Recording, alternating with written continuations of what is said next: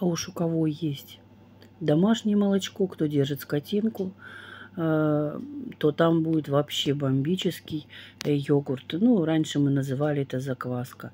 Э, когда я тоже держала коров, и было, ну, либо варенец можно было использовать. Я вот брала, допустим, на трехлитровую банку молока, снимала сливки, чтобы было по поснее, да, допустим, вершки. Заправляла, кипятила молочко, Э, оставля... Э, остужалось оно, допустим, чтобы палец можно было держать, да, и потом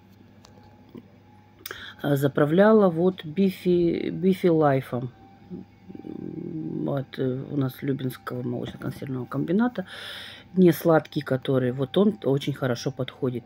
И получалось прямо 3 литра хорошего йогурта, который можно было использовать и для тех, как бы говорится, которые худеющие люди, которые на правильном питании. Здесь же бифидобактерии содержат и лактобактерии.